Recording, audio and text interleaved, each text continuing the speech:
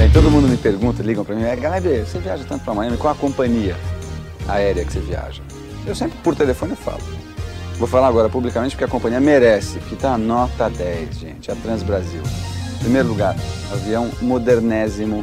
Transbrasil voa de Boeing 767 Wide Boeing, os mais modernos que existem no mundo. Inclusive, acabou de chegar um agora, que eu vou voar nele semana que vem, inclusive, é com configuração de primeira classe, executiva, turística. O serviço desde turística até a primeira é campeão de bilheteria, rápido. Sabe aquele serviço rápido e simples, aquele que você gosta?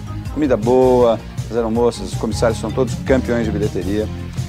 Outra coisa, o voo é diurno, você sai às 11 da manhã. Eu, por exemplo, viajava à noite, e chegava super cansado no outro dia de manhã, estragava meu outro dia.